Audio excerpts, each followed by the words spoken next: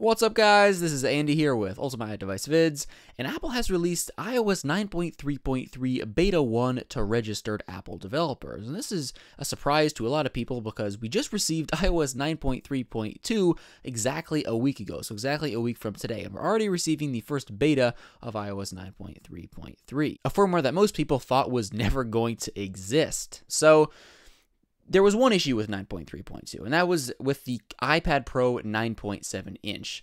Uh, certain iPad Pro 9.7 inch devices were actually bricked upon updating to 9.3.2. Uh, they were basically sent into an unstable state, state, and that was essentially an issue.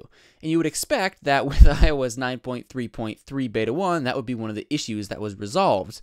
Oddly enough, this firmware was not seeded for those devices, so it's just really strange. They intentionally left those devices out so it's pretty clear that that is not fixed in iOS 9.3.3, so you may wonder what actually has been fixed. Well, if you have a look at the changelog for iOS 9.3.3, all it says is this beta version of iOS 9.3.2 contains bug fixes and improvements. So that must have been an error because they say 9.3.2 uh, as opposed to 9.3.3. So that again must have just been a mistake.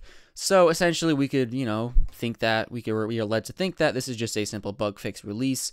Uh, not pertaining to any bugs that we know about, but just maybe minor under the hood stuff. So that's honestly what you could think about 9.3.3. It's just a bug fix update.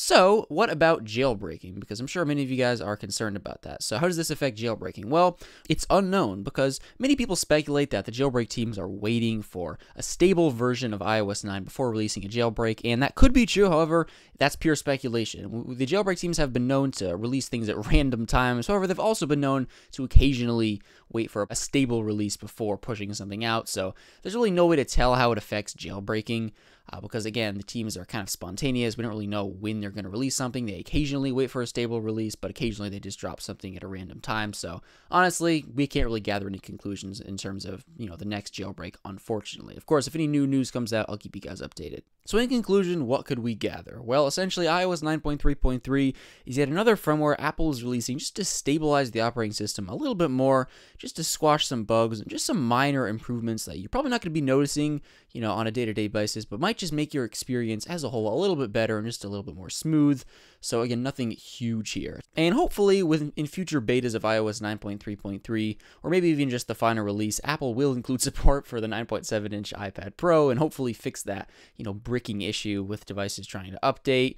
But yeah, guys, it pretty much wraps up this video. So if this video helps you out at all, make sure to give it a like and subscribe to this channel. I would really appreciate that. You know, I'll be, I'll be uploading many more videos pertaining to iOS and pretty much anything else that pertains to Apple devices, jailbreaking, and so much more. Also, make sure to follow the channel on Twitter, like it on Facebook, and also make sure to follow me on Twitter. I'll be sure to put all those links down below in the description. Thank you guys so much for watching, and I'll catch you in the next one. Peace out.